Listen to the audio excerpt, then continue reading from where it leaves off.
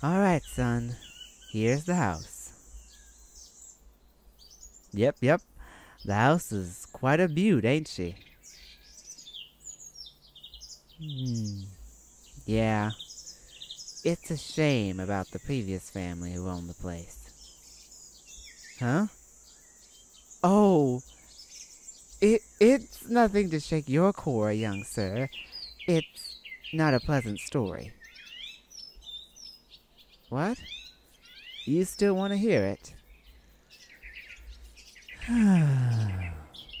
well, if you get scared, just say I warned you. Well, the previous family had a son. And just by looking at you, around the same age as you. And, well, the poor young man got sick and passed away in the house. Why are you looking at me like that? You asked for the story. Anywho, his parents took care of him the best they could. But when the doctors told them that there wasn't much they could do for him, they just decided to keep him at home and let him just go peacefully. it was hard for everyone in the neighborhood, especially me. Huh? How do I know all this information? Son, I was their next door neighbor until I decided I just needed to pack up and move into another part of town after what happened. It it was it was all too much for me.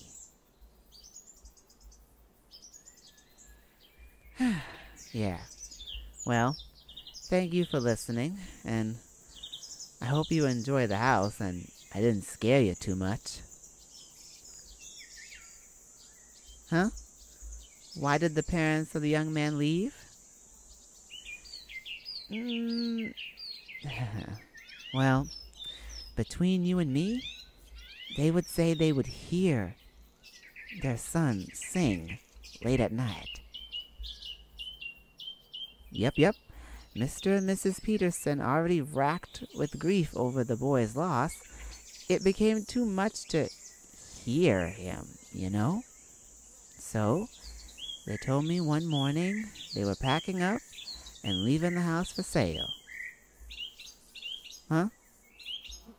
What was the boy's name? Oh, his name was Tyler. Tyler Peterson. uh, I, I hope I haven't soured your mind with all this doom and gloom about death and loss. No? Huh. Not to be too critical, young man, but you're a little strange, to say the least. oh, you've been told that a lot. Well, that's my cue to leave then. Have a good day, sir. Enjoy the house as much as you can.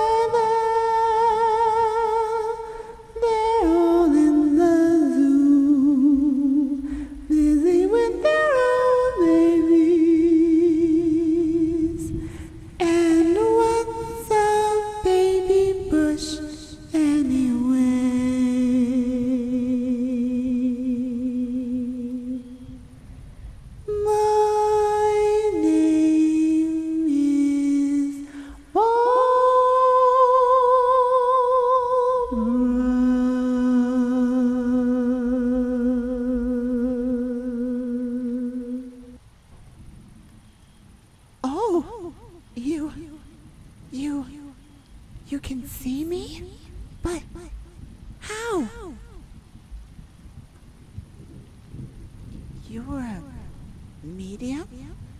Wait a minute. You can connect to people people who aren't alive anymore like me? yes, I know I'm dead. Can't you tell? No one can see me, hear me, or communicate with me. Except you. You have no idea. I've been roaming here for. Oh my god. I can't remember how long or when. All I remember was not being able to talk to mom and dad and. And of course, phasing in and out of walls and furniture. Uh, then I remember trying to communicate with mom and dad, but all I did was drive them away. They couldn't bear the loss of me, and they left me here. Huh? Why haven't I been able to go into the light or whatever? Well, it beats me. Just know if I could, I would. Since hanging around here isn't glamorous or romantic in any way. Huh Just my luck. I'm dead, chilling with a medium in my old family home. What a life. Whoops, slip of the tongue. I mean, afterlife. Huh? What was the song I was singing? It's called My Name is Barbra. You know, Babs, Barbra Streisand. My parents loved that song.